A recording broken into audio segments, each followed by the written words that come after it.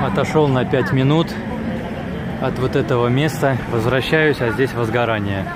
Это город Тайнань, Китайская республика, Тайвань. Вот э, вообще как это кто-то с сигаретой уснул, что ли. В общем, такое вот тут событие. Все снимают.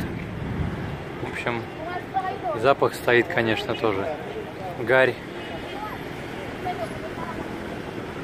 Вот сейчас посмотрим, как здесь пожарные работают. Прям сюжет для новостей, прямо. Капец, конечно.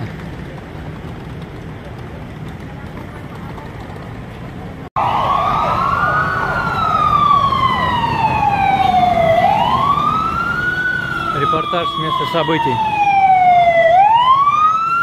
Пожарные уже выехали. Пожарные выехали. С вами, с вами были азиатские новости. И я ее ведущий, я ведущий передачи Степан.